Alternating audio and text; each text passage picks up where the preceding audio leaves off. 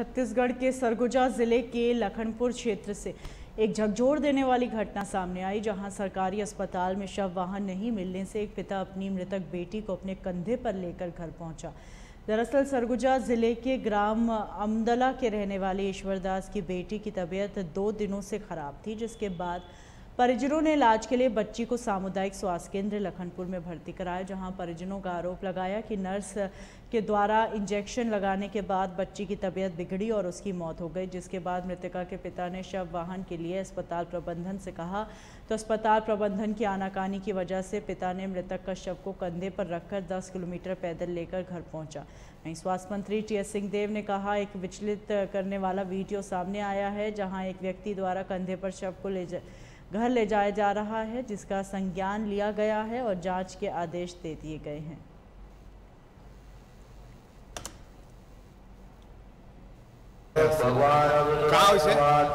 बुखार रही अस्पताल लेके रहे इलाज करे। अस्पताल लेके रहे इलाज करे। का कही डॉक्टर? कहीं कब को बुखार है तो मैं कहीं नहीं दो दिन हो गई रात में पेट दर्द कर रही बारह बजे एक बाद बिहार है। तो लाए सात बजे भर्ती कर अब का हो देखी डॉक्टर तो का कही? ठीक हो जाही तो कही। देखा? देखो वो भाप वाला रहे ना हाँ। ओके लगाई कौन डॉक्टर रही? ओके मोके पता नहीं है नर्स रही। हाँ हाँ। एक तुम्हार जैसे है। हाँ। डॉक्टर डॉक्टर हाँ। ओहर रही। हाँ लगाई। मैं कहीं खाना उना नहीं खाई से लड़का है। तो काहे नहीं तो लड़का कहीं में दूध पी तो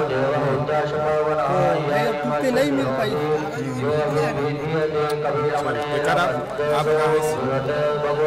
का का बताइस फिर पेट दर्द कहीं की भाव वाला ला- कहीं लगाए तो ठीक हो जाए। हाँ। देखा? अब का का का का खून निकली। आपके ना- सुबह प्रातः छः पैंतालीस के लगभग एक सुरेखा दास पिता ईश्वर दास ग्राम अम, अमदला निवासी परि, परिजन के द्वारा लेके आया गया जिसको मेरे द्वारा देखा गया। उस समय उसकी स्थिति काफ़ी गंभीर स्थिति में थी। ऑक्सीजन सप्लाई 60 परसेंट आ गया हुआ था।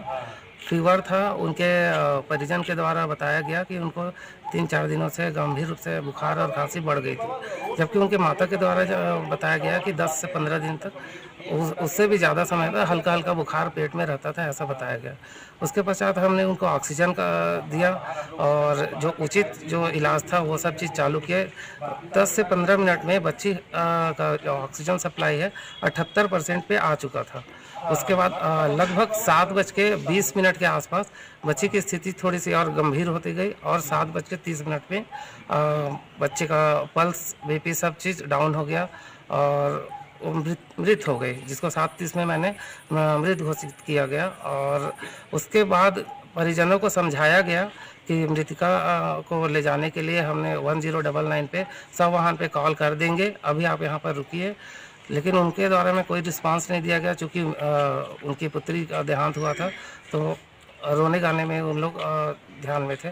फिर हमारे यहाँ staff nurse duty staff nurse Kiran के द्वारा आठ बज के चौदह मिनट पे कॉल किया गया एक बार फिर से और नौ बज के बीस मिनट में सब वाहन आ गई थी। तब तक मृतिका को लेकर के उनके परिजन जा चुके थे यहाँ से अस्पताल परिसर से मैंने भी एक वीडियो का कुछ अंश देखा। एक नागरिक बच्ची को कंधे में डाल के घर ले जा रहे हैं। पता चला कि वो बच्ची सुबह करीब छः साढ़े छः बजे अस्पताल लाई गई थी, नाक से खून निकल रहा था और एस टू लेवल बहुत गिरा हुआ था। स्वाभाविक है, थोड़ी देर से लाई गई थी बच्ची, उसको उपचार करने का पहल हुई वहाँ, ऑक्सीजन वगैरह लगाया गया और उपचार किया गया, लेकिन बच्ची को बचा नहीं सके। साढ़े सात बजे के आसपास बच्ची की मृत्यु हो गई। उसके बाद स्वाभाविक है कि विचलित हालत में घर के बड़े, मैं नहीं जानता कि वो उनके पिता थे या कोई अभिभावक थे, लेकिन बच्ची को लाश को बच्ची की ले गए। और जो वीडियो दिख रहा है, वो दिख रहा है कि कंधे पे बच्ची को ले जा रहे हैं। तो ये एक अत्यंत संवेदनशील चित्र दिखता है। ये ज़रूर सुनिश्चित करना चाहिए था स्वास्थ्य विभाग के वरिष्ठ अधिकारियों को, डॉक्टर्स को, जो वहाँ तैनात रहते हैं। इसमें जो रूटीन में बीमारी या किसी ऐसे कारण से मृत्यु के बाद में वो ले जाते हों तो व्यवस्था देखनी चाहिए थी।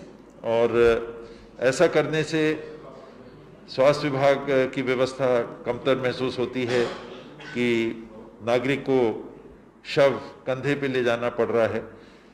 गाड़ी भी आई, सब कुछ आया, केवल उनको समझाने की बात थी।